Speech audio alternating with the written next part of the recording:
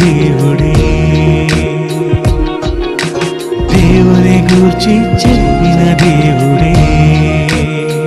ఆ, తన కొరకు ఆనాడు చెప్పాడు వేసే గదా తన కొరకు ప్రతిరోజు చెప్పాలి నీవే గదా తన కొరకు నువ్వు చెబితే దైవానివే.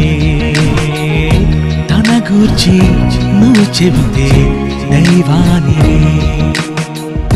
నీ కొరకు చూశాడు ఆ దేవుని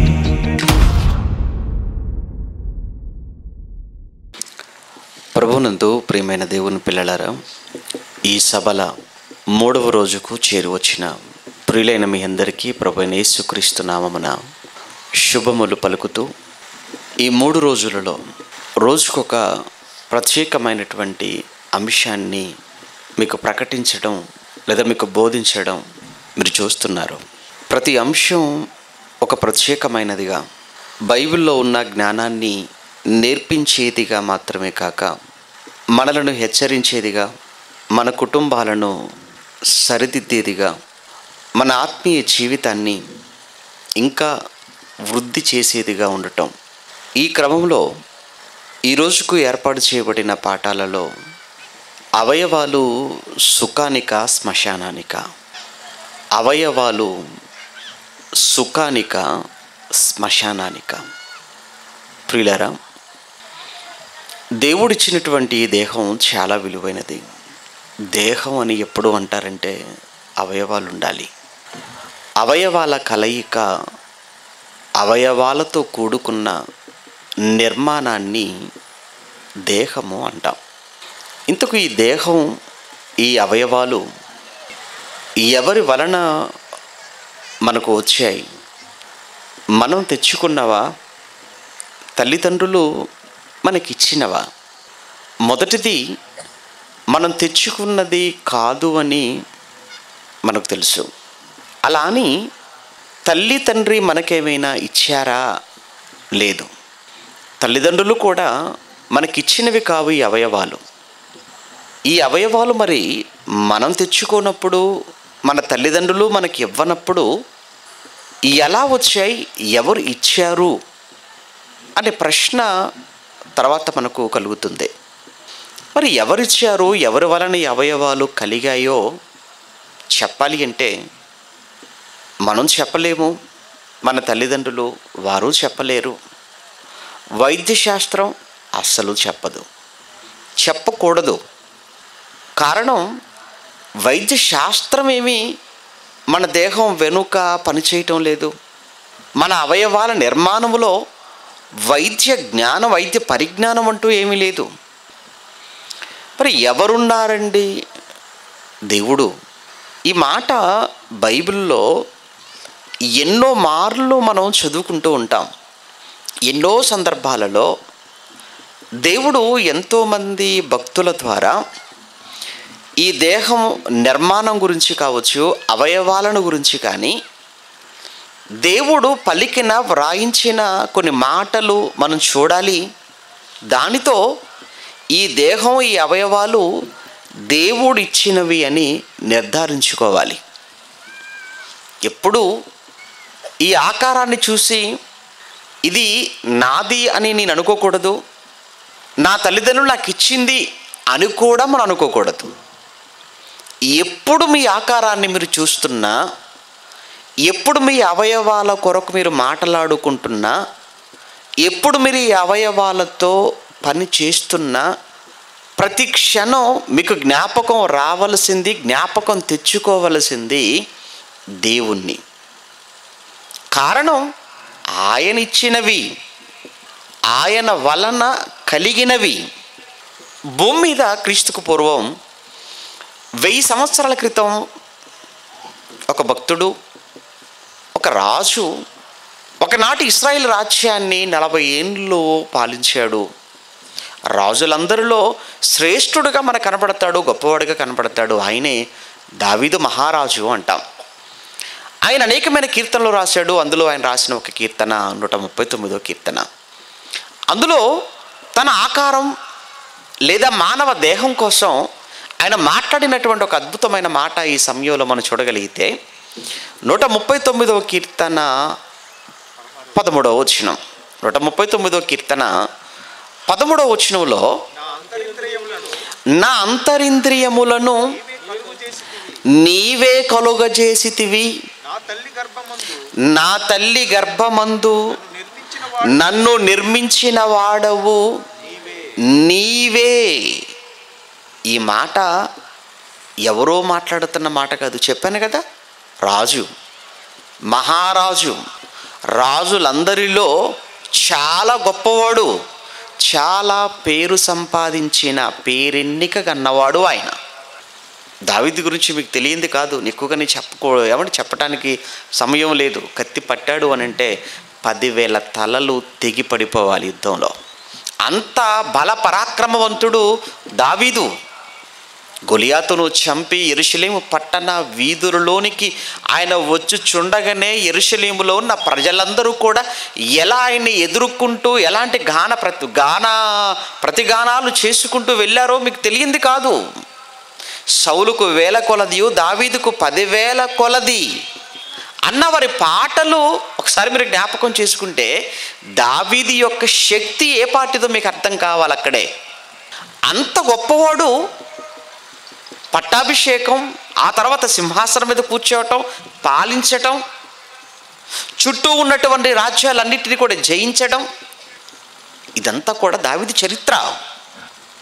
ఆ దావిది గారు మాట్లాడుతున్న మాట ఇది ఆయన మాట్లాడుతున్న మాట నా అంతరింద్రియములను నీవే కలుగజేసితివి నా తల్లి గర్భమందు నన్ను నిర్మించిన వాడవు. నీవే నీవే నన్ను నిర్మించావు నీవే నన్ను నిర్మించావు అని దేవుడితో మాట్లాడుతున్నాడు. మరి దావీదును నిర్మించిన వాడు దేవుడైనప్పుడు నిన్ను నిర్మించినది డాక్టర్ అనుకుంటావా? దావీదును నిర్మించిన వాడు దేవుడైతే నిన్ను నిర్మించింది నన్ను మన తల్లి తండ్రి అని మనం అనుకోవచ్చా? లేదు.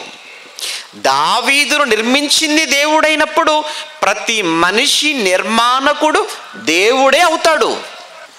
ఇక్కడ ఈయన మాట మనం చూసాం. ఇక మరొక వ్యక్తి కూడా మాట్లాడతాడు. ఆయన యోబు గారు. యోబు గారి గురించి కూడా మీకు బాగా తెలుసు. తూర్పు దేశపు జనులందరిలో ఆయన కన్నా రిచెస్ట్ మ్యాన్ ఎవరు లేరు. ఆయన కన్నా గొప్ప ధనవంతుడు ఎవరు లేరు అని మనకు తెలుసు. అలానే ఆయన కాలంలో ఆయన కంటే భక్తిపరుడు కూడా మరొకడు లేడు.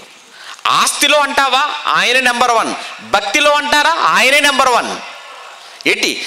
ధనవంతులలో ఆయనే మొదటివాడట భక్తిలో కూడా ఆయనే మొదటివాడు. ఆయన మాట్లాడుతున్న మాట కూడా ఆ యోగు గ్రంథంలో కూడా మనం చూడగలిగితే యోబు గ్రంథం పదవ అధ్యాయం ఎనిమిదవ వచనం.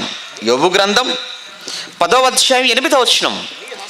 నీ హస్తములు నీ హస్తములు నాకు అవయవ నిర్మాణము చేసి నీ హస్తములు నాకు అవయవ నిర్మాణము చేసి నీ హస్తములు నాకు అవయవ నిర్మాణము చేశాయి. దేవుడా నీ హస్తములేనయ్యా నాకు ఈ అవయవాల నిర్మాణం వెనుక కష్టించింది పనిచేసింది అన్నాడు.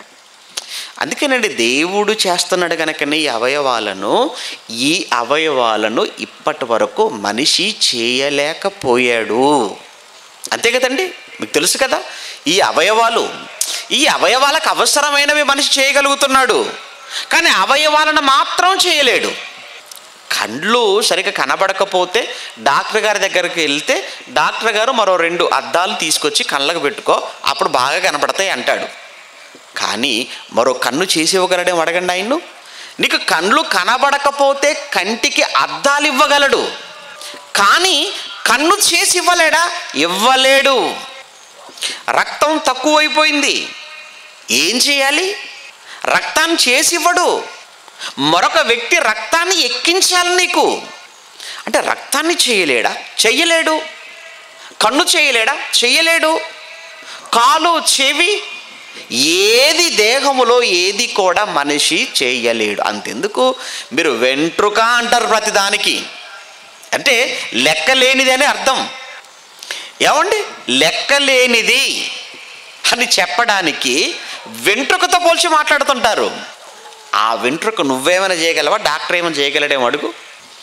ఆ వెంట్రుకను కూడా ఎవరు చేయలేరా? ఎవ్వరూ చేయలేరు. చేయటం ఎందుకండి? ఊడిపోయిందని తీసి అతికించుకొని చూద్దాం ఒకసారి. స్నానం చేసేటప్పుడు తల దూకునేటప్పుడు రాలిపోతుంటాయా? అవి తీసి మళ్ళీ అంటించే ప్రయత్నం చేయండి ఏమైనా అంటుకుంటాయేమో? లేదు. అంటే రాలిన వెంట్రుకనే అంటించలేనప్పుడు ఇక వెంట్రుక చేయగలడా? లేదా మొలిపించగలడని మీరు అనుకుంటున్నారా? లేదు. ఎందుకు చేయలేకపోతున్నారు? వెంట్రుకను ఎందుకు చేయలేకపోతున్నాడు? రాలిన వెంట్రుకను ఎందుకు తిరిగి పెట్టలేకపోతున్నాడు? ఏంటిదంతా? ఇది దేవుని కార్యక్రమం. ఆ, ఏదో ఎయిర్ ప్లాంటేషన్ ఉంది కదా అంటారేమో. ఏమండి ఎయిర్ ప్లాంటేషన్? దేవుడు నాటితేనే పోతున్నాయి. ఇక మనిషి తీసుకెళ్ళి నాటితే అవి ఉంటాయి అనుకుంటున్నారు చెప్పండి? ఈ మధ్యకాలంలో ఎయిర్ ప్లాంటేషన్ అనేది వచ్చేసిందిలేండి. ఒక ఇంట్రుకనట మళ్ళా తిరిగి అక్కడ గుచ్చితే లోపల పది రూపాయలట. పదో వందో మొత్తానికి పది రూపాయలు అనుకుంటాను. ఇటు ఒక ఇంట్రుకను? ఇలా ఎన్ని వెంట్రుకలు ఎన్ని వేలు? ఉంటాయా? ఒరిజినల్గా లోపల నుంచి వచ్చినయే ఊడిపోతుంటే తీసి పెట్టినవి మరలా ఉంటాయని అనుకుంటున్నారు పోనీ అదొక బిజినెస్ అయిపోయింది. అదొక వ్యాపారం అయిపోయింది. ఏమండి? ఎందుకండి మనిషి చేయలేడు? చేయలేడు. ఎందుకంటే ఇది? దేవుని కార్యక్రమం.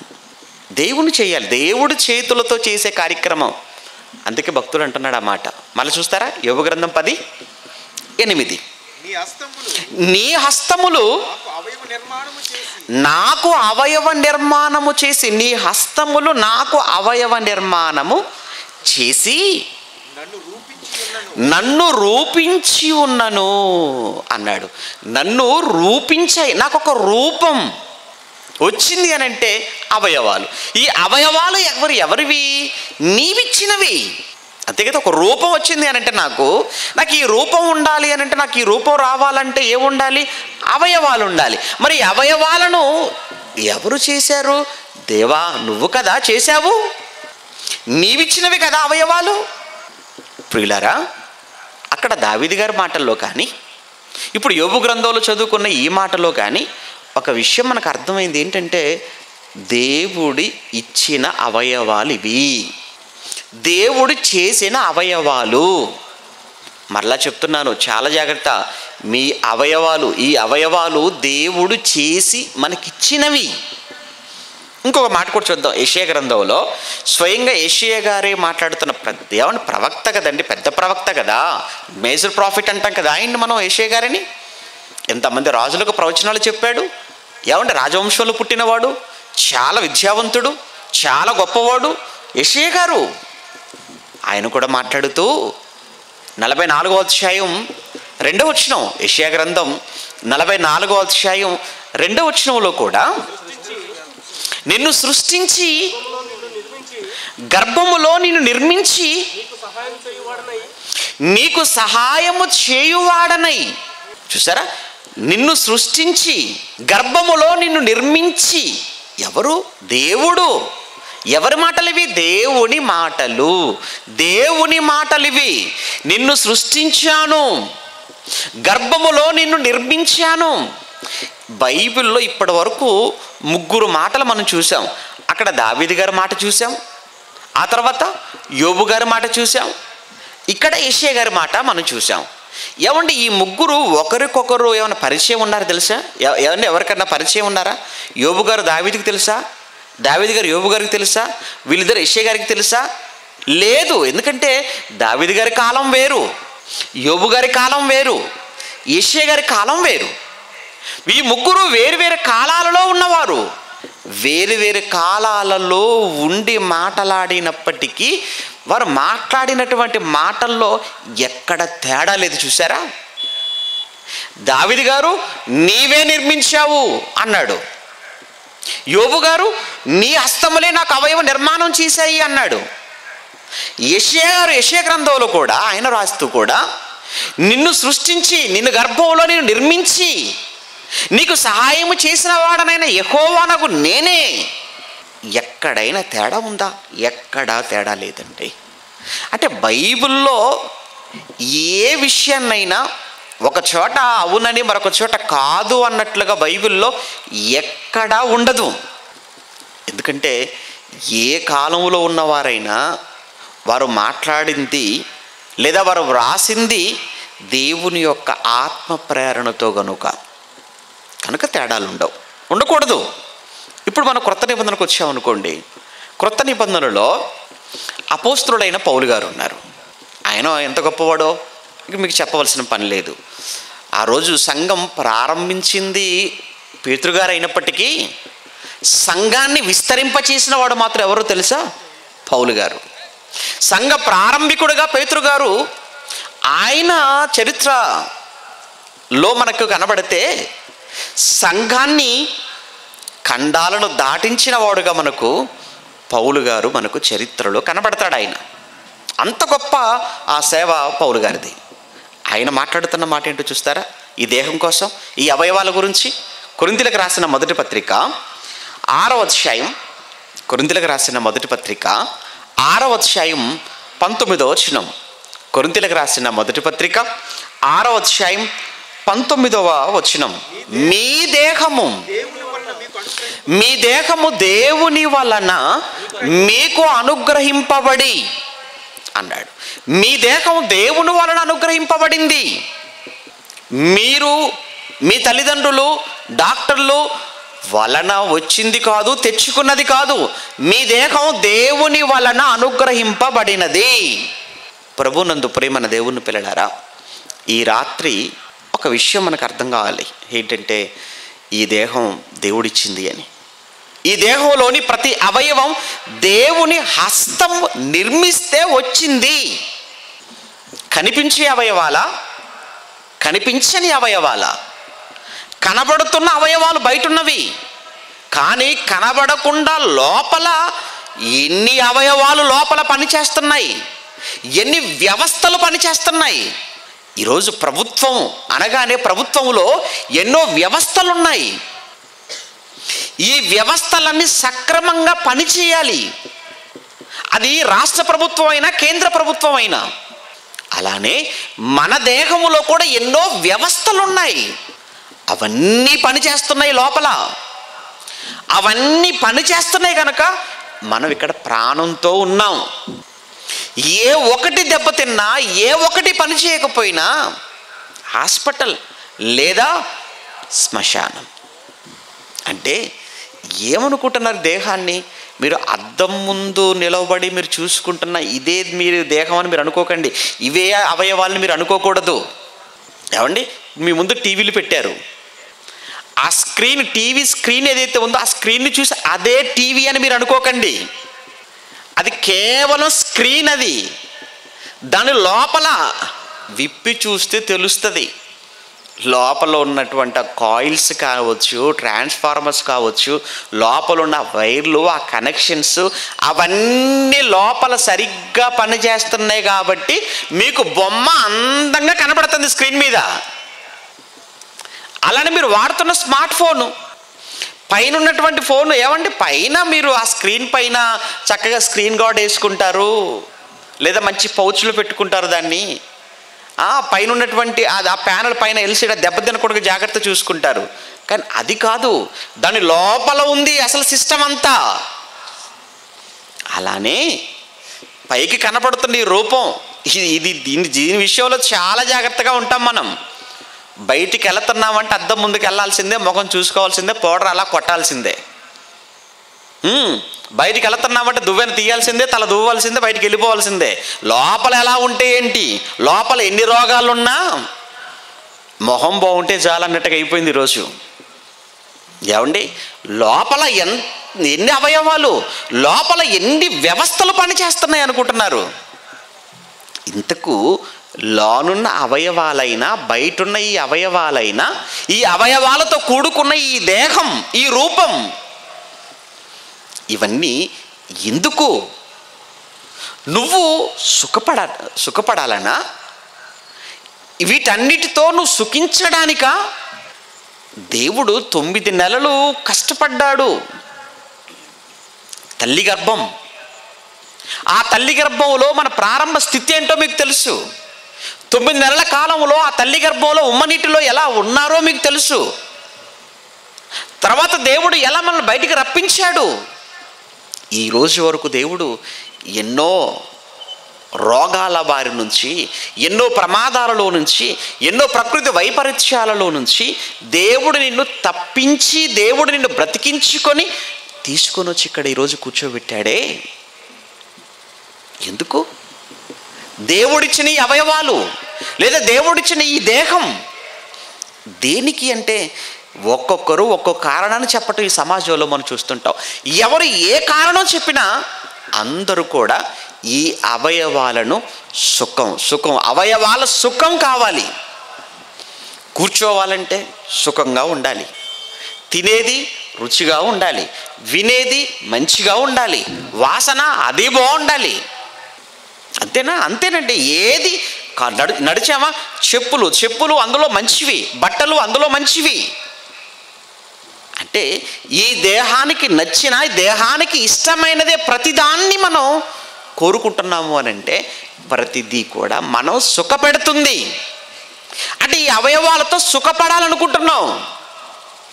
కానీ ప్రభునందు ప్రేమన దేవుని పిల్లలారా ఈ అవయవాలను దేవుడు మనం సుఖ పెట్టాలను సుఖపడటం కొరకును ఈ అవయవాలను దేవుడు మనకిచ్చాడా? ఒకవేళ అలానే అనుకుంటే సుఖం కొరకే ఈ అవయవాలు అనుకుంటే సుఖపడటానికే ఈ దేహం అనుకుంటే యేసుక్రీస్తుల వారు బ్రతుకుండగా ఒక చక్కని ఉపమానం చెప్పాడు. లూకసు వార్త పన్నెండవ అధ్యాయం పదహారు నుంచి త్వర త్వరగా మరియు ఆయన వారితో ఈ ఉపమానము చెప్పాను. ఒక ధనవంతుని భూమి సమృద్ధిగా పండింది ఒక ధనవంతుడు ఉన్నాడు ఒక ఊరిలో. ఆ ధనవంతుడు ధనవంతుడు అంటేనే బాగా ఉన్నవాడు. భూమిని దున్నాడు విత్తనాలు వేశాడు పంట వచ్చే సమయం అయింది వెళ్ళాడు పంట చూశాడు చూసిన తర్వాత అబ్బో పంటే పంట విపరీతంగా పంట పండిపోయింది. ఈ పండిన పంటంతటిని ఇప్పుడు కానీ ఉన్న పాటున కోసి కుప్పగా చేసి బస్తాల్లోనికి ఎక్కించి ఇంటికి కానీ తీసుకొని వచ్చానా? అమ్మో ఈ పంటంతా దాయటానికి దాచిపెట్టుటకు. ఇంటి దగ్గర ఉన్నటువంటి కొట్లు స్థలం సరిపోదు అనుకున్నాడు. ఇంటికి వచ్చాడు వచ్చి ఆలోచిస్తున్నాడు ఏం చేస్తే బాగుండా? ఏం చేస్తే బాగుండా? అని ఆలోచిస్తున్నాడు. ఏం చేసేదే ఉంది ఈ పంటంతటిని సమకూర్చుకొనుటకు నాకు స్థలము సరిపోదు గనుక ఇప్పుడు ఉన్నటువంటి వాటిని పడగొట్టి వీటి కంటే కూడా గొప్ప వాటిని కట్టించి ఈ ధాన్యం అంతటిని కూడా అందులో కూర్చి ఇక ఆ తర్వాత మంచం మీద పడుకొని ఇక నేను నా ప్రాణముతో ఈలాగు చెప్పుకుందును అని అనుకుంటున్నాడు. ఏం చెప్పుకుందాం అనుకుంటున్నాడు చూడండి ప్రాణంతో? ఇప్పుడు పంతొమ్మిదో వచ్చినాం ఇక నా ప్రాణముతో ప్రాణమా? అనేక సంవత్సరములకు విస్తారమైన విస్తారమైన ఆస్తి నీకు సమకూర్చబడి ఉన్నది. నా ప్రాణమా? అని తన ప్రాణంతో చెప్పుకుంటున్నాడు తన ప్రాణంతో మాట్లాడుకుంటున్నాడు. చెప్పుకుంటారు కదండి. అలానే ఇదిగో నేను టెన్త్ క్లాస్ అయిపోగానే ఇంటర్ ఇంటర్ అయిపోగానే డిగ్రీ డిగ్రీ అయిపోగానే పీజీ చేస్తాను. లేకపోతే ఈలోపు జాబ్ వస్తే జాబ్ చేస్తాను. ఆ తర్వాత పెళ్ళి చేసుకు అనుకుంటారా? అనుకోరు చెప్పండి ఇదంతా? అనుకుంటారు మనిషి అన్న తర్వాత. అలాంటిప్పుడు మీరు వచ్చారు. మీటింగ్ అయిపోగానే మీ ప్లానింగ్ అంటూ మీకు ఉంటుంది. మీటింగ్ రావడానికి ప్లాన్ ఉంటుంది. ఏమంటే వెళ్ళేటప్పుడు ఒక ప్లానింగ్ రేపు రావడానికి ఒక ప్లాన్ చేసుకుంటారు? ఏమండి ఇల్లు కట్టుకోవాలని ఇల్లు కట్టుకోవడానికి ఒక ప్లానింగ్ ఉంటుంది మీకు? ఒక ఉద్యోగం చేయాలన్న ఒక ప్లానింగ్. అలా ఇతను కూడా ఆ ధాన్యం అంతటిని కూడా కొట్టలో పెట్టుకున్న తర్వాత ఇక ఏం చేయాలి?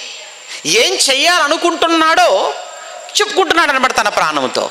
ఇక నా ప్రాణముతో ప్రాణమా? అనేక సంవత్సరాలకు విస్తారమైన ఆస్తి నీకు సమకూర్చబడి ఉన్నది గనుక. ఇక నీవు సుఖించు. నువ్వు సుఖపడు నువ్విక తిను నువ్విక త్రాగుము సంతోషించుము అని తన ప్రాణముతో చెప్పుకుంటాను అని అనుకొని అలా నిద్రలోనికి జారుకుంటున్నాడు. అలా నిద్రలోనికి వెళ్తున్నాడు. ఏంటేంటి? అనేక సంవత్సరాల కోసం ఏం ఆలోచనలో ఏం ఆలోచనతో ఉన్నాడు?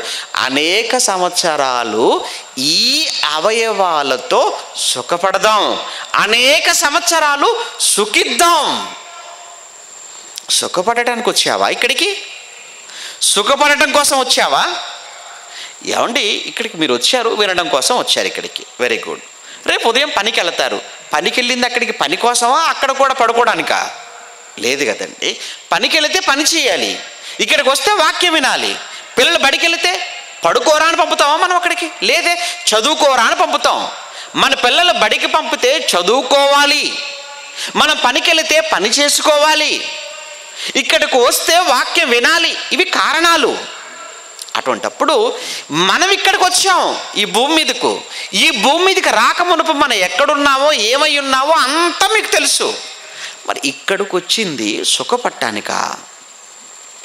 ఈ భూమి మీదకి వచ్చింది సుఖించటానికా? దేవుడు తల్లి గర్భంలో తొమ్మిది నెలలు కష్టించి అవయవ నిర్మాణం చేసి నీకు ఇచ్చింది ఈ అవయవాలను సుఖపెట్టడానికా? వీడు ఏమనుకుంటున్నాడట? అనేక సంవత్సరాలు ఇక నువ్వు సుఖించు దేహమా నా ప్రాణమా? నీవు సుఖపడటం తప్ప ఇక నీకు వేరే పనంటూ ఏమీ లేదు. తిను నీకు ఇష్టమైంది తిను. నీకు ఇష్టమైనది త్రాగు. నీకు సంతోషం ఎక్కడ సంతోషం ఉంటే అక్కడికి వెళ్ళిపో. నీకు ఎక్కడ స్వేచ్ఛ ఉంటే అక్కడికి వెళ్ళిపో. నీకు ఎక్కడ ఎంజాయ్ ఉంటే అక్కడికి వెళ్ళిపో. మనిషి స్వేచ్ఛను కోరుకుంటాడు కదండి. పది మందిలో ఉంటే స్వేచ్ఛ ఎక్కడ? ఒంటరిగా ఉంటేనే స్వేచ్ఛ. పది మందిలో ఉంటే ఎక్కడ ఉంటుంది స్వేచ్ఛ? ఏది చూడాలనుకున్నా ఏది వినాలనుకున్నా కష్టం. అదే ఒంటరిగా ఉన్నప్పుడు ఏదైనా చూడొచ్చు ఏదైనా వినొచ్చు. ఎందుకు? మనుషులతో కాదు బంధాలు ఇప్పుడు. స్మార్ట్ ఫోన్లతో బంధాలు అయిపోయాయి. భార్య ప్రక్కనున్న భార్యతో మాట్లాడేది లేదు భర్త. భర్త పక్కనున్న భర్తతో మాట్లాడేది లేదు భార్య. వీళ్ళిద్దరూ ఎదురెదురుగా ఉన్నా ఒకరికొకరు మాట్లాడుకోరు. వీళ్ళు పిల్లలతో మాట్లాడే పరిస్థితి లేదు పిల్లలు వీళ్ళతో మాట్లాడే పరిస్థితి లేదు. ఎవరికి వారుగా స్మార్ట్ ఫోన్లు ఆ ఫోన్లలో ఎవరి ఆనందం వారిది ఎవరి సంతోషం వారిది? ఎవరి స్వేచ్ఛ వారిది అన్నట్టుగా అయిపోయింది కదా ఈరోజు? ఇందుకోసమేనా? నీ సంతోషం కోసం నీ సుఖం కోసం నీ ఆనందం కోసం దేవుడు నీకు ఈ అవయవాలు ఇచ్చాడో నువ్వు అనుకోవటం అది నీ అజ్ఞానం అవివేకం కాదది? ఎప్పుడైతే ఈ వ్యక్తి ధనవంతుడు ఇలా ఆలోచించి అలా నిద్రలోనికి జారుతున్నాడో ఈలోపు వెంటనే దేవుడు మాట్లాడుతున్నాడట వాడితో. దేవుడు ఏమన్నాడు ఇరవై వచ్చినలో అయితే దేవుడు. అయితే దేవుడు. ఇదివాడా వెర్రివాడా? అయితే దేవుడు వెర్రివాడా? పిచ్చోడా? వెర్రివాడా అంటే పిచ్చివాడా అని అర్థం. ఏంటి ధనవంతుణ్ణి వెర్రివాడా అంటున్నాడు ఏంటి ధనవంతుడే కాదు ఎవడైనా ఈ అవయవాలతో సుఖపడాలి. ఈ అవయవాలు ఇచ్చిందే ఈ అవయవాలు నాకున్నదే సుఖపడటానికి అనుకున్న ఏ ఒక్కడైనా దేవుడు దృష్టిలో వెర్రివాడే. మరలా చెప్తున్నాను ఎవరు ధనవంతుడే కాదు.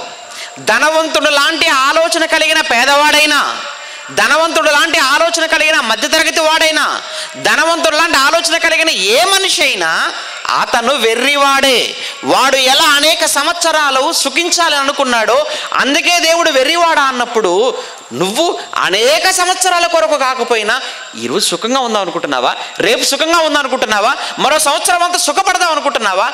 క్రైస్తవుడా నువ్వు క్రైస్తవుడు నువ్వు. నీకు సుఖమా? నీకు సుఖం ఉందా ఈ భూమి మీద? ఏంటి నీకు సంతోషమా? ఎక్కడయ్యా సంతోషం నీకు? ఎక్కడయ్యా నీకు ఆనందం? ఎక్కడ నీకు సుఖం? క్రైస్తవుడైనందుకు బాధ అనుభవించిన ఎడల క్రైస్తవుడైతే బాధ క్రైస్తవుడైతే బాధ అని బైబుల్లో అంత చక్కగా వ్రాయబడితే చదువుకున్నాము విన్నాము మరలా నీకు సుఖమా? ఎందుకు సుఖం? సుఖపడుతున్నావు సుఖానికి అలవాటు అవుతున్నావు అని అంటే వెర్రివాడవు అని అర్థం. వెర్రివాడుగా మారుతున్నావు అని అర్థం. ప్రభునందు ప్రేమన దేవుని పిల్లలారా సుఖపడటం కోసం కాదా? కాదు. దేవుడి అవయవాలను సుఖం కోసం ఇవ్వలేదా? ఇవ్వలేదు. అపోస్తుడైన పౌలు గారు ఏమండి యేసుక్రీస్తుల వారు వీళ్ళకన్నా ఒకసారి పాత నిబంధనలో ఒక వ్యక్తి ఉన్నాడు. ఆయన కోసం పౌలు గారు మరలా కృత నిబంధనలో ప్రస్తావిస్తాడు. ఆయనే మోషే గారండి. ఆయన కోసం ఏం చెప్పాడో ఒక మాట మనం ఈ సమయంలో చూడగలిగితే ఎబ్రి పత్రిక పదకొండవ అధ్యాయంలో ఎబ్రి పత్రిక పదకొండవ అధ్యాయం ఇరవై నాలుగు ఇరవై ఐదు ఇరవై ఆరు వచనాలలో ఎబ్రి పత్రిక పదకొండవ అధ్యాయం ఇరవై నాలుగు ఇరవై ఐదు ఇరవై ఆరు వచనాలలో ఆ పదకొండవ అధ్యాయం అంతా కూడా విశ్వాస వీరుల జాబితా గురించి అక్కడంతా కూడా పౌలు గారు రాయటం మనం చూస్తుంటాం కదా. ఏమండి? అక్కడో హెబెలు మొదలుకొని హెబెలుతో ప్రారంభిస్తాడు. అనేక మంది విశ్వాస వీరుల చరిత్ర అంతా కూడా అక్కడ మాట్లాడుతుంటాడు. ఆ క్రమములో ఆ వరుసలో మోషే గారి దగ్గరికి వచ్చాడు ఆయన. అలా మోషే గారి దగ్గరకు వచ్చి మోషే గురించి ఏం మాట్లాడుతున్నాడు చూడండి. మోషే పెద్దవాడైనప్పుడు విశ్వాసమును బట్టి ఐగుప్తు ధనము కంటే మీకు తెలుసు మోషే పెద్దవాడయ్యాడు. నలభై ఏళ్ళు వచ్చాయి. మోషేని పిలిపించింది ఫరో కుమార్తె. అప్పటి వరకు ఫరో కుమార్తె యొక్క కుమారుడుగానే పెరిగాడు. ఐగుప్తులో ఉన్న సకల విద్యలలో కూడా ప్రావీణ్యాన్ని సంపాదించుకున్నాడు ప్రవీణుడుగా మారాడు ఆయన. ఎప్పుడైతే ఫరో కుమార్తె పిలిపి పిలిచి తండ్రి ముందు నిలవపెట్టి ఆ ఫరో కుమార్తె మోషేతో మాట్లాడుతున్న సందర్భం మోషే పెద్దవాడైనప్పుడు విశ్వాసమును బట్టి విశ్వాసమును బట్టి ఐగుప్తు ధనము కంటే అడుగుతుందండి. ఆయన మోషే ఇదిగో నా తండ్రి సింహాసనం మీద కూర్చున్నాడు. నా తండ్రి ఎలాగో వృద్ధుడైపోతున్నాడు. ఆయన ఎలాగో రిటైర్మెంట్ తీసుకోబోతున్నాడు. ఆ తర్వాత నా తండ్రి దిగితే ఆ సింహాసనం మీద కూర్చునే వారసుడవు నువ్వే. కారణం నువ్వు నా కుమారుడుగా పెరిగావు కదా. నా దత్తపుత్రుడుగా నిన్ను నేను తీసుకున్నాను కదా. కనుక ఇప్పుడు నా తండ్రి స్థానములో నువ్వు కూర్చుంటే ఐగుప్తు సింహాసనంపై నువ్వు రాజుగా అవ్వరోగా నువ్వు మారిపోతావయ్యా. ఎంత అదృష్టం అండి మోషకు? ఎంత గొప్ప భాగ్యం అండి మోషకు? అప్పటికి ఇస్రాయల్ పరిస్థితి ఎలా ఉందో వారి దీనస్థితి ఏంటో మనకు తెలియంది కాదు. వారి భయంకరమైన పరిస్థితి ఎంత దారుణంగా వారి స్థితి మారిపోయిందో మనం చూసాం నిర్గమకాండం ప్రారంభాలు చదువుకుంటాం. ఆ పరిస్థితుల్లో ఫరో కుమార్తె మోషేని పిలిచి మోషే నన్ను తల్లిగా నా తండ్రి ముందు ఒప్పుకోరా. నన్ను అమ్మాని పిలు నన్ను తల్లి అని ఒప్పుకో. ఒక్కసారి నన్ను కానీ నువ్వు తల్లిగా నువ్వు ఒప్పుకుంటే అమ్మాని నువ్వు ఒక్కసారి నన్ను పిలిస్తే నా తండ్రి కూర్చున్న సింహాసనంపై నువ్వు కూర్చుంటావు. ఈ ఐగుప్తు రాజదండం నీ చేతిలోనికి వస్తుంది. ఐగుప్తు ధనం ఉందే ఐగుప్తు ధనం అంతా కూడా నీ కాళ్ళ దగ్గరకు వచ్చి పడుతుందిరా. ఎన్ని ఆశలండి? రాజదండమట సింహాసనమట ఐగుప్తు ధనమట. ఇంతకన్నా ఏం కావాలి మనిషికి చెప్పండి. అధికారం వస్తుంది. అధికారం వస్తుంది. ధనం వస్తుంది. ఏం కావాలి ఇక? రాజయ్యే గొప్ప అవకాశం? రాజయ్యే గొప్ప భాగ్యం? ఒకనొక రోజు యేసుక్రీస్తుల వారి దగ్గర కూడా ప్రజలంతా వస్తారు కదా ఎవరి శోత ఆరాధ్యం చదువుకుంటాం. ప్రజలందరూ వచ్చేస్తారు. వచ్చేసి ఏంటి చెప్పండి? అంటే ప్రజలంతా అంటారు ఏం లేదయ్యా నిన్ను మేము రాజుగా చేయాలనుకుంటున్నాం అంటారు. నేను మేమంతా కూడా మిమ్మల్ని రాజుగా చేయాలనుకుంటున్నాం. అనగానే ప్రభు అక్కడి నుంచి పారిపోయాడట. తెలుసు కదా ఈ సందర్భం? అక్కడి నుంచి ప్రభు పారిపోతాడు. ఇదేంటండి? రాజును చేస్తామంటే పారిపోతున్నాడు ఏంటండి ప్రభు? ఇక్కడ మోషకు కూడా గొప్ప అవకాశం వచ్చిందండి. ఐగుప్తు సింహాసనం మీద కూర్చునే భాగ్యం. కానీ ఆ మాట అన్న తర్వాత అంటే ఇంత గొప్ప ఆఫరు ఆయన కళ్ళ ముందుకు వచ్చిన తర్వాత మోషే గారు మాట్లాడిన అద్భుతమైన మాట ఇప్పుడు మనం చదువుకుంటున్నామండి. మోషే పెద్దవాడైనప్పుడు విశ్వాసమును బట్టి విశ్వాసమును బట్టి ఐగుప్తు ధనము కంటే క్రీస్తు విషయమైన నిందే గొప్ప భాగ్యం. ఏంటంటే భాగ్యం? ఏది భాగ్యం అనుకుంటున్నాడట? ధనము ఐగుప్తు ధనము కంటే ఆ పదం చూడండి అక్కడ. మోషే పెద్దవాడైనప్పుడు విశ్వాసమును బట్టి ఐగుప్తు ధనము కంటే ధనము కంటే ధనము కంటే నింద భాగ్యమా?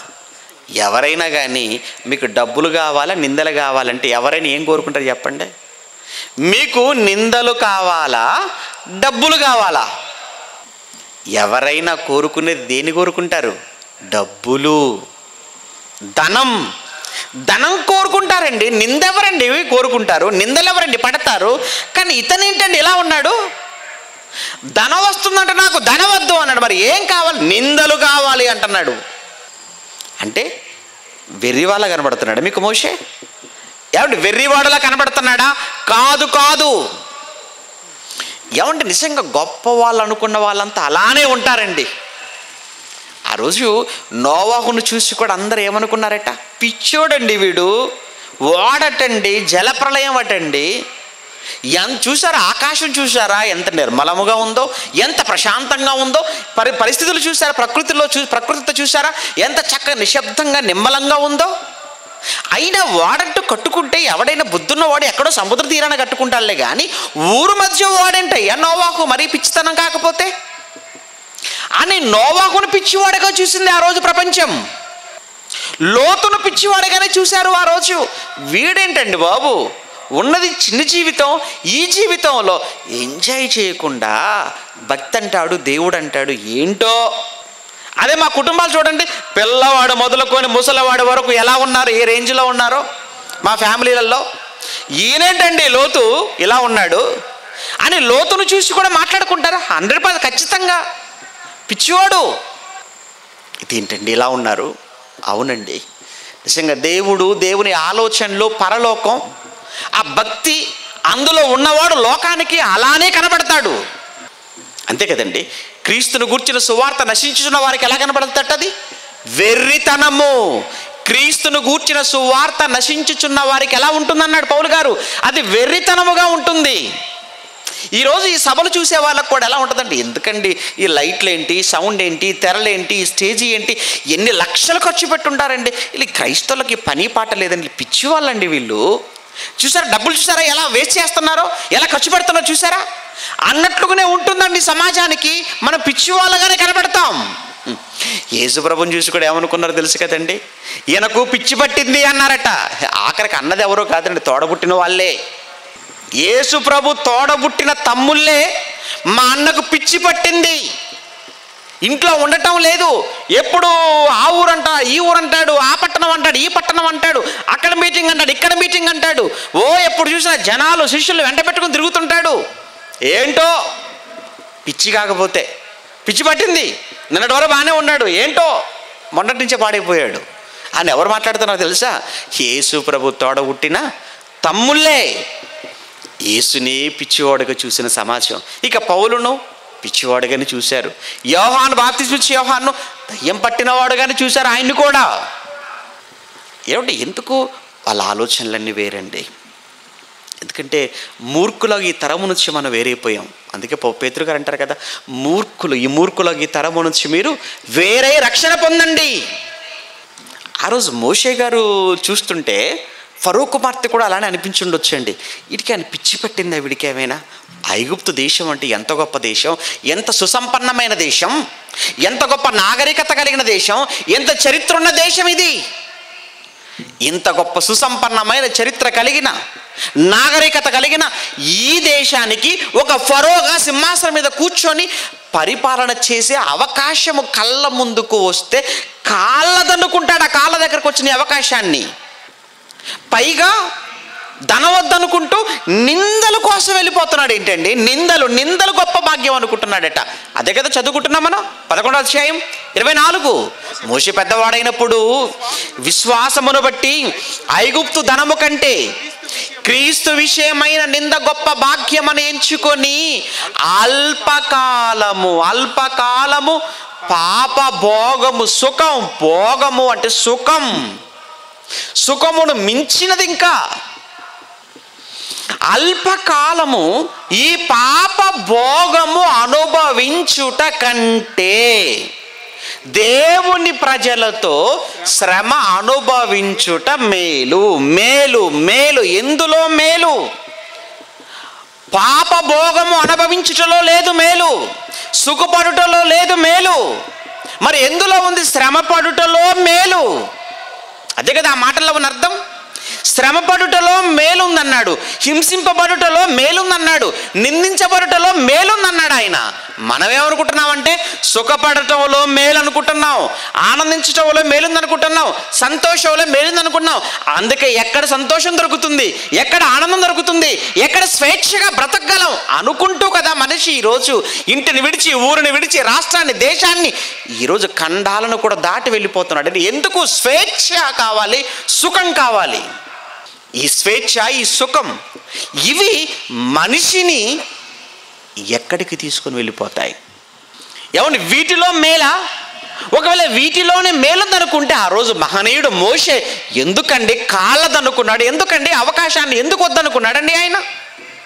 ఇక్కడే ప్రతి క్రైస్తవుడు ఆలోచించాలి. ఇక్కడే ప్రతి మనిషి ఆలోచించాలి. ఎవరండి ఈరోజు ఒక చిన్ని పంచాయతీలో ఒక సర్పంచ్ పదవి కోసం ఏమండి ఎంత లక్షలు ఖర్చు పెడుతున్నారు కోట్లు ఖర్చు పెట్టారు ఆఖరికి కొట్టుకొని రక్తాలు కారి పోలీస్ స్టేషన్కి ఏంటండి ఒక ఊరికి ఒక చిన్ని పదవి అండి అది ఒక చిన్న ఊరికి ఒక చిన్ని పదవి. ఇక ఎమ్మెల్యే ఎలక్షన్లో ఇక ఎంపీ ఎలక్షన్లు అన్నప్పుడు ఇక మనకు తెలియంది కాదు ఇక.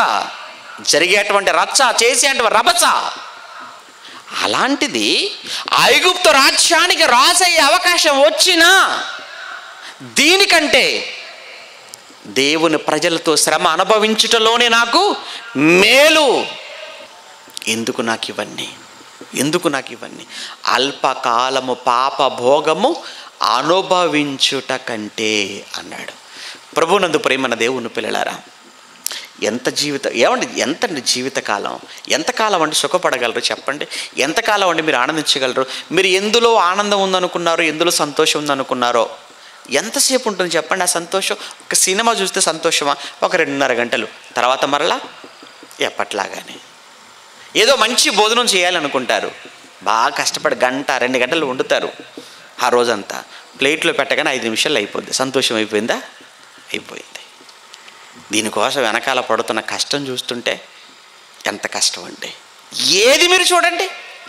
ప్రతి దానిలో అంతేనండి మనకు.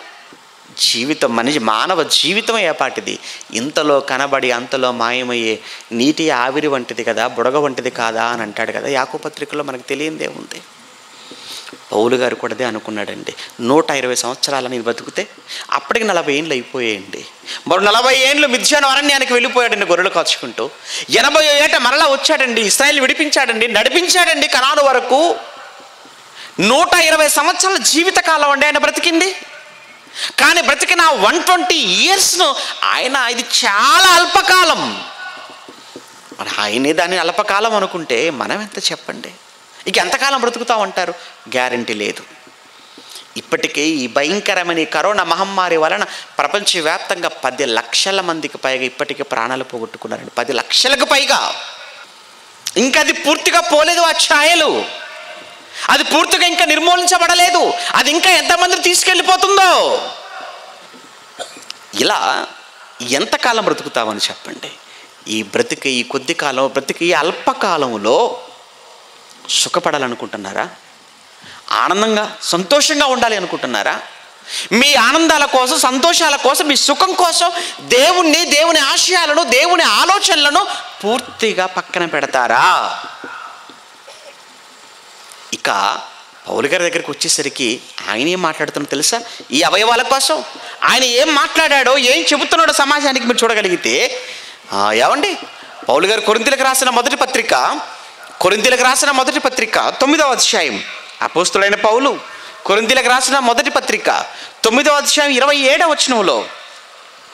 ఇరవై ఏడవ వచనంలో గాలిని కొట్టినట్టు నేను పోట్లాడుట లేదు కానీ ఒకవేళ ఇతరులకు ప్రకటించిన తర్వాత నేనే భ్రష్టుడనైపోదునేమో అని శరీరమును అవయవాలను నేను నలగొట్టుకొనుచున్నాను నలగొట్టుకుంటున్నాడట.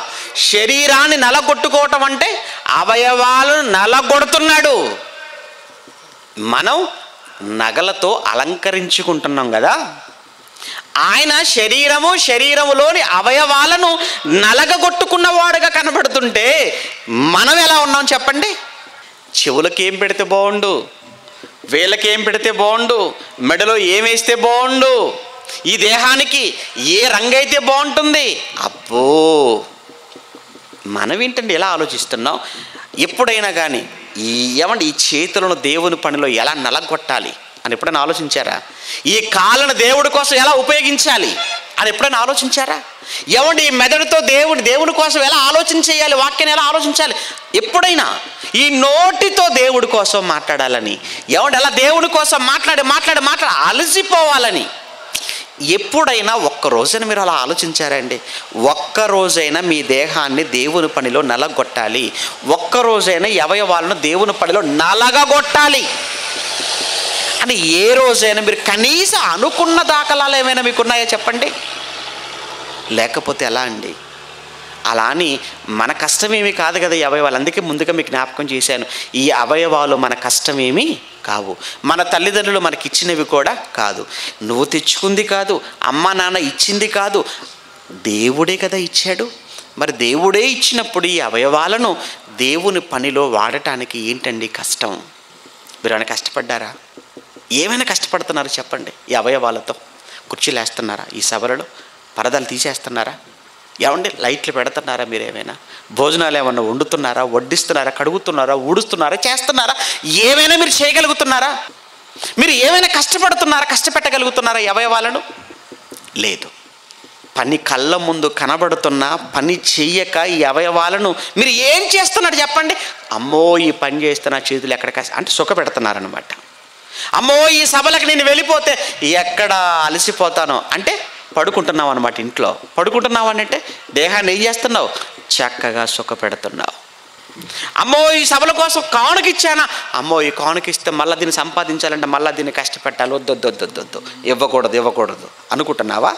అంటే ఏ విధంగా చూసినా ఎలా ఆలోచించినా ఈ అవయవాలను మీరు సుఖపెట్టాలనుకుంటున్నారే తప్ప ఈ అవయవాలను కష్టపెట్టాలి దేవుడి కోసం అని ఎప్పుడైనా మీరు అనుకున్నారా?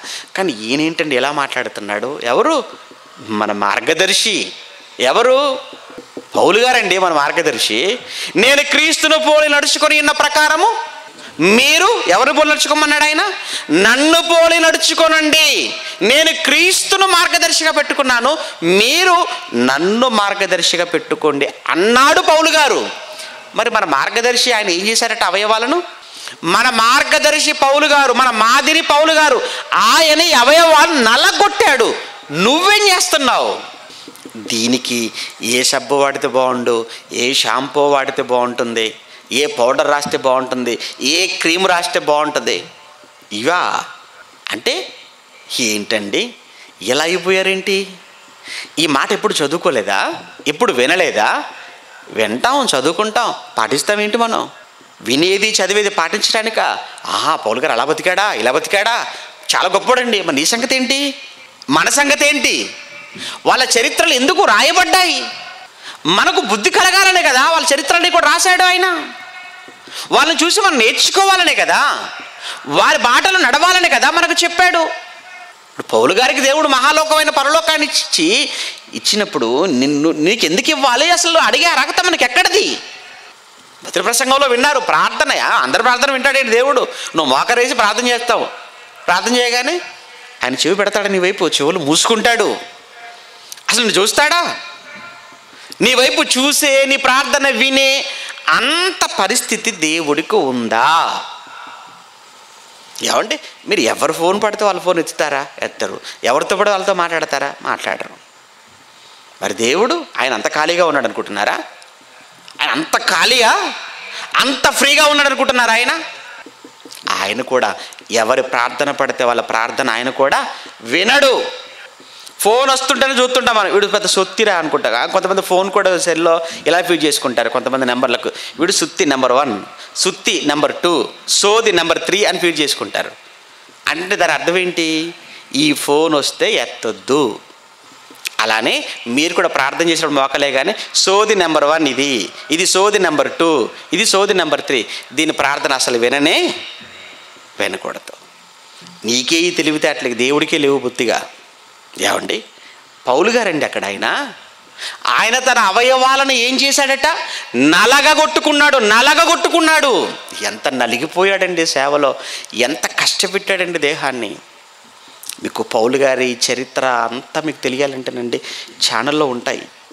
ఆయన క్రీస్తులోకి రాకమునుపు వచ్చిన తర్వాత ఏమండి? ఆయన పౌలు గారి ప్రయాణాలు రోమ ప్రయాణం ఆయన చావు ఆయన పత్రికలు ఇవన్నీ కంప్లీట్గా పౌలు గారి హిస్టరీ అంతా. ఛానల్లో ఉంటాయండి.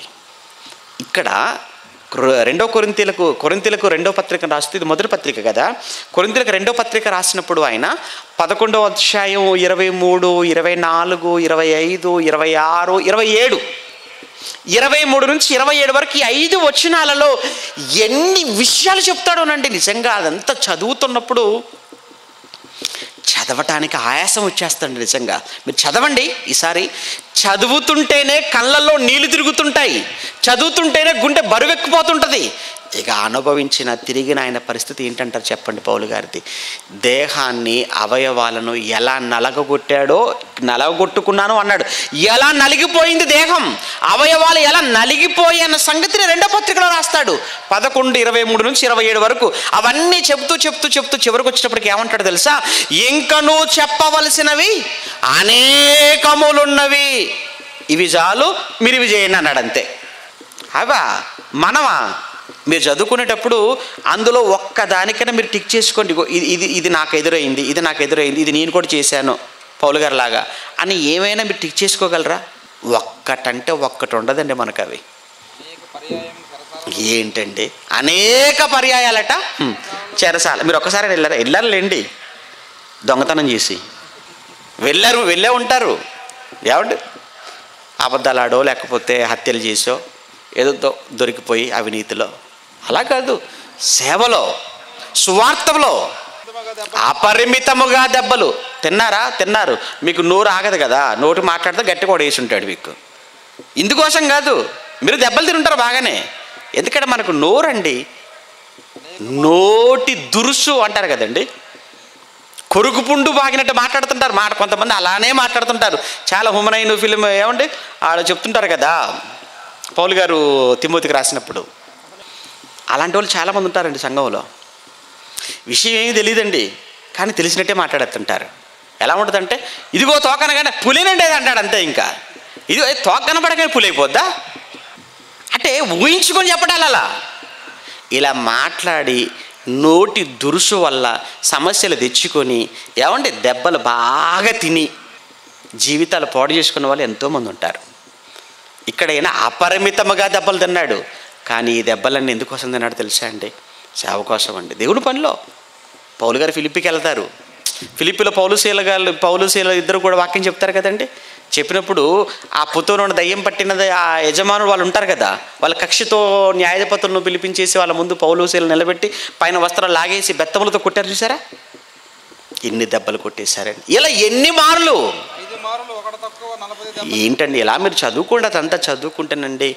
పౌలు గారి దేహములో ఆ పౌలు గారి అవయవాలలో నలిగిపోని అవయవం ఏముంది చెప్పండి ఇక? పౌలు గారి అవయవాలలో దేవుని పనిలో నలగని అవయవం ఏముంది? ప్రతి అవయవం నలిగి నలిగి నలిగిపోయిందండి. నిజంగానే రూపం ఎలా ఉంటుందో అనిపిస్తుంటుందండి అప్పుడప్పుడు. ఈ చదివిన తర్వాత రాళ్ళతో కొట్టారే. ఒకసారి పౌలు గారు లుస్త్రకి వెళ్ళినప్పుడు రాళ్ళతో కొట్టేశారు కదా భయంకరంగా. ఆ రాళ్ళతో కొడుతున్నప్పుడు ఆ రాయి వెళ్ళి కళ్ళకు తగిలి ఉండొచ్చు కదా. ఇక్కడ తగిలి ఉండొచ్చు ఇక్కడ తగిలి ఉండొచ్చు ఇక్కడ తగిలి ఉండొచ్చు మొత్తం తగిలిపోయి ఉండొచ్చు గాయాలైపోయాయి మొత్తం చేయమండి సొమ్మసిల్లు పడిపోతాడు. చచ్చాడు అనుకొని ఈడ్చుకొని తీసుకెళ్ళి బయట పడేశారట మళ్ళీ కట్లు కట్టుకొని దెబ్బకి వెళ్ళిపోతాడు సువార్త. అంటే నాకు ఏమనిపించింది ఇన్ని దెబ్బలు అది మొదటి ప్రయాణంలోనే. ఇటు మొదటి ప్రయాణంలో ఇన్ని దెబ్బలు తగిలిన తర్వాత ఒంటి నిండా ఎలా మచ్చలైపోయి ఉంటాయో ఒళ్ళంతా ఎలా గాయాలైపోయి ఉంటాయో ఆయన రూపం ఎలా మారిపోయి ఉంటుందో. ఆ పౌలిక రూపం ఎలా ఉండి ఉంటుందో కదా.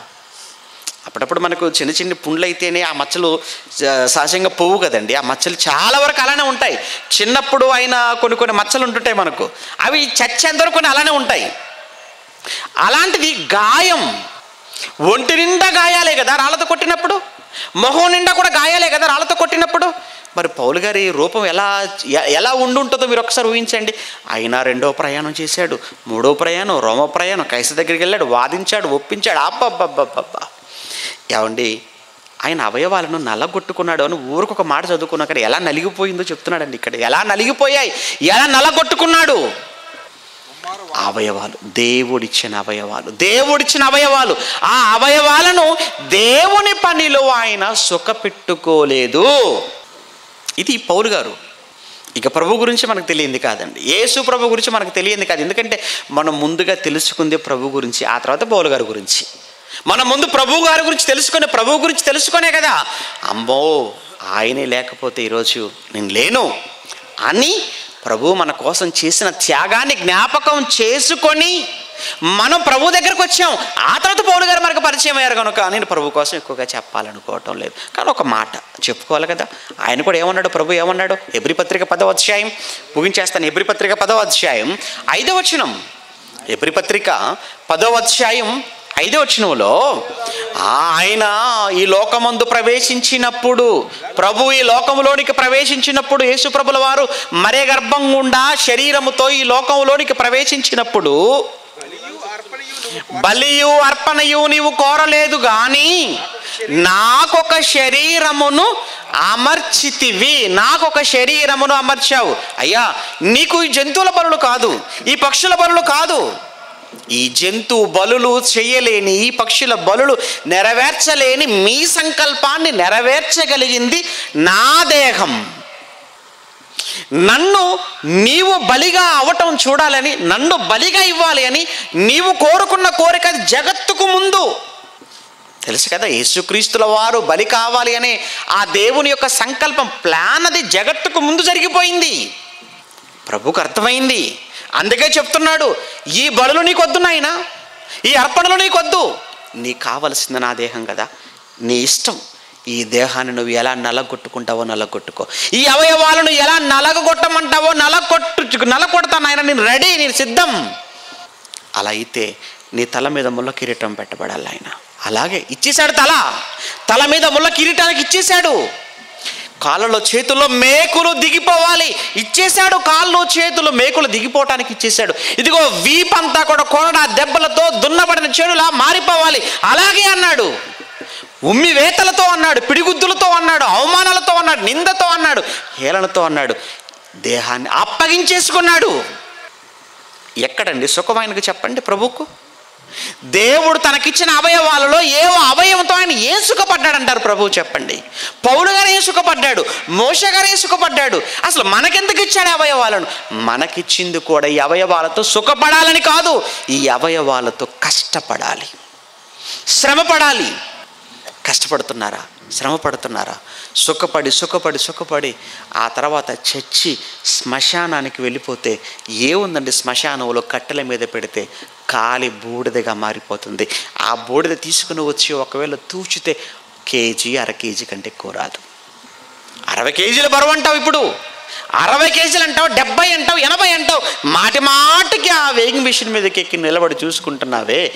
ఈ అరవై కేజీలు ఉన్న డెబ్బై ఉన్న యాభై ఉన్న ఈ దేహం ఒక్కసారిగా శవంగా మారితే కట్టెల మీద పెడితే కాలి బూడిదగా మారితే ఎంత నీ వెయిట్ ఎంత నీ బరువు? ఆ తర్వాత తీసుకొని వెళ్ళి లేదా? ఒకవేళ పెట్టెలో పెట్టి సమాధి లోపల కానీ భూమి లోపల కానీ నిన్ను పెట్టారా? మరి కొద్ది రోజుల తర్వాత చూస్తే అసలు ఏ రూపము కనపడదు. అస్థి పంజరం ఎముకల గూడు తప్ప. ఏమైపోయింది ఆకారం? ఏమైపోయి అవయవాలు? ఎటు శ్మశానం పాలైపోవాలనా? ఏంటి బూడిదగా మారిపోవడానికి ఇచ్చాడా? సుఖపడటం కోసం ఇచ్చాడా? సుఖపడటానికో శ్మశానంలో బూడిదిగా మారటానికో మట్టిలో మట్టి అయిపోవటానికో ఈ విలువైన అవయవాలు దేవుడు ఇవ్వలేదు. ఇవి చాలా విలువైనవయ్యా ఈ అవయవాలు. ఏ అవయవాన్ని ఎవరు చేయగలరు? ఏ అవయవ ఎక్కడ మనకు దొరుకుతుంది మార్కెట్లో? దేనికి ఎంత విలువ కడతావు చెప్పు. కన్నుకింత రేటును కట్టగలవా?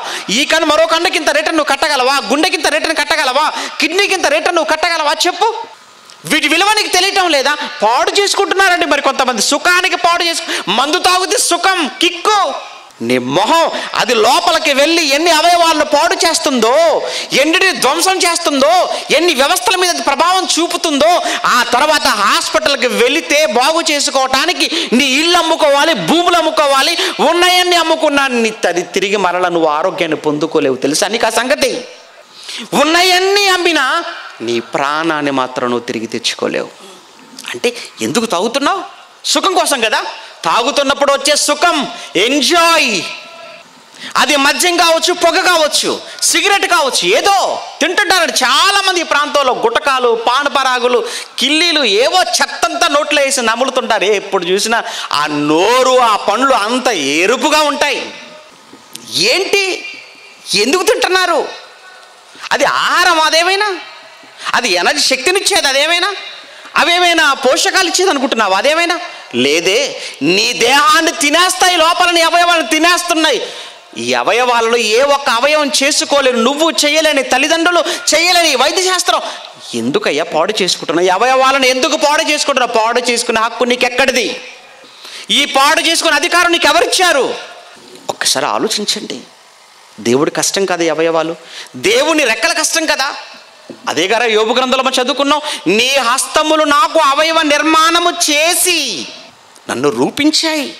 అదే కదా దావిద భక్తుడు అన్నాడు నా తల్లి గర్భమందు నన్ను నిర్మించిన వాడవు నీవే. అదే ఏషియా గ్రంథంలో మనం చదువుకున్నాం నిన్ను సృష్టించిన వాడను నేను రా అన్నాడు దేవుడు. నిన్ను నీ తల్లి గర్భం నిర్మించిన వాడు నేనే అన్నాడు. పౌలు గారు కూడా అదే మాట్లాడు కదా కొరింతి పత్రికలో. మీ దేహము దేవుని వలన మీకు అనుగ్రహింపబడింది అన్నాడు. అదే కొరింతి పత్రిక పన్నెండు పంతొమ్మిదిలో మొదటి పత్రికలోనే దేవుడు ప్రతి అవయవమును దాని దాని చిత్త ప్రకారము శరీరములో ఉంచెను. ప్రతి అవయవాన్ని తన చిత్త ప్రకారంగా దేవుడు మన దేహములో ఉంచాడట. దేవుని చిత్తం నెరవేరుస్తున్నాయి అవయవాలు? ఈ కళ్ళు దేవుని చిత్తా నెరవేరుస్తున్నాయా? ఈ చెవులు దేవుని చిత్తా నెరవేరుస్తున్నాయా? ఈ చేతులు దేవుని చిత్తా నెరవేరుస్తున్నాయా? ఈ పాదాలు దేవుని చిత్తాన్ని నెరవేరుస్తున్నాయా? దేవుడు ప్రతి అవయవాన్ని తన చిత్త ప్రకారముగా ఈ దేహములో ఉంచాడట. మీరేం చేస్తున్నారు? సుఖపడుతున్నారా? వద్దు. సుఖపడటానికి కాదు. నువ్వు నమ్మిన మనం నమ్మిన మనం ధరించిన క్రీస్తు ఎలా ఎక్కడని సుఖపడ్డాడు? ఇదిగో తండ్రి నాకిచ్చిన ఈ శరీరముతో నేను నిన్ను మహిమపరుస్తాను. నీకోసం కష్టపడతాను. ఈ అవయవాలలో ప్రతి దానిని నీ పనికి అంకితం చేస్తాను. అదే పౌలు గారు రోమపత్రిక ఆ, ఏడు పన్నెండులో కానీ రోమపత్రిక ఆరులో కానీ ఒక మాట రోమపత్రిక ఆరో అధ్యాయం పదమూడులో మీ అవయవములను దుర్నీతి సాధనములుగా మీరు వాటిని ఉపయోగించకండి. నీతి సాధనములుగా ఉపయోగించండి. మాట అండి ఆరు పదమూడు అండి రోమపత్రికలో దుర్నీతి సాధనాలుగా వద్దు. నీతి సాధనాలుగా వాక్యపు సాధనాల నీతి అంటే వాక్యం అండి. వాక్యానికి భిన్నమైనటువంటి ఈ దేహములోని అవయవాలతో చేస్తున్నారు అని అంటే దుర్నీతి అది. నీతి వాక్యం. వాక్యం కోసం అవయవాలు వాక్యం కోసం ఈ దేహం వాక్యం కోసం ఈ శరీరం కష్టపడగలుగుతుంది పనికి వెళ్ళగలుగుతుంది చేసుకోగలుగుతుంది అంటే మీరు వాక్యానుసారంగా బ్రతుకుతున్నారని అర్థం. ఇక్కడ కష్టపెడుతున్నారా? ఇక్కడ మీరు కష్టపెడుతున్నారా? ఈ అవయవాలు మీరు ఇక్కడ కష్టపెట్టగలిగితే కష్టపడని అవయవాలు మట్టిలో మట్టైనా బూడిదగా మారిన మరలా ఒకరోజు దేవుడు మరల ఈ అవయవాలను అక్షయమైన వాటిగా మార్చి మరలా మనకిస్తానన్నాడా? ముమ్మాటికి. యేసుక్రీస్తుల వారు పోగొట్టుకున్నారు ఈ దేహాన్ని పోగొట్టుకున్నారు. సమాధిలో పెట్టేశారు కదా పెట్టేశారు. మూడో దినాన మళ్ళీ తిరిగి వచ్చేసాయా వచ్చాయి. కానీ మునుపున్నటువంటి అవయవాలు కావవి. అవి మార్పు చెందాయి. మహిమ దేహంగా మారిపోయాయి. అట్టి దేహం నీకు నాకు మనకు కావాలి అని అనుకుంటే మీ దేహాలను లేదా మీ అవయవాలను దేవుని పనిలో దేవుని కొరకు మీరు వాడండి. ఇక్కడ సుఖం కోసమే ఆలోచి ఎంతకాలం సుఖపడతాం? ఉన్నంతకాలం ఎంతకాలం ఉంటాం? అది మనకే తెలియదు.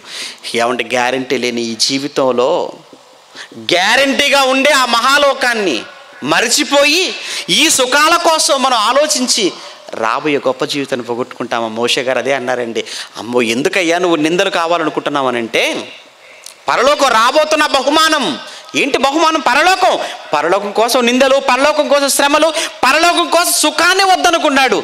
మీరు నేను మనం అంతా కూడా రాబోయే ఆ పరలోకం కోసం ఈ భూమి మీద ఈ సుఖాన్ని మనం వద్దు అని అనుకుంటే కాదనుకుంటే కాలదనుకుంటే ఆ తర్వాత మహాలోకానికి వెళితే అక్కడ ఉందండి సుఖం.